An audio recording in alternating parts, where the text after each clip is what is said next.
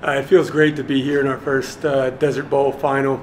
Uh, we've sat on the sidelines for the last two years looking in, and it's not a good feeling. So we've really worked hard in the off season and, and put in a lot of work during the season.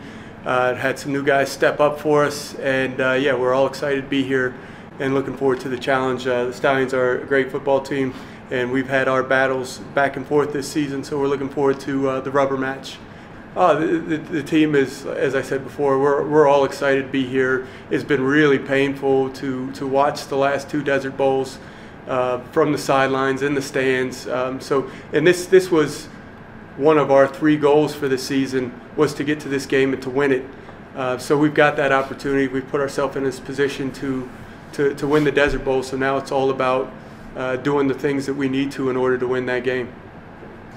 Uh, we're gonna we're gonna prepare the same way that we do for every other game. Um, so we're just practicing hard. Um, we've identified some things on film that we need to clean up, uh, not from just this last game, but other games that we've played, and especially against the Stallions.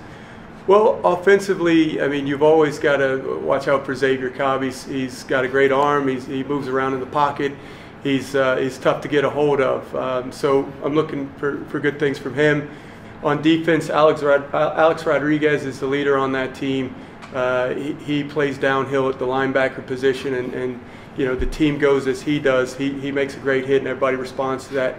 But as Coach Daniel said, I'd also like to see some of the players that have emerged for a game or two here and there to really step up and, and, and show out in this game as well.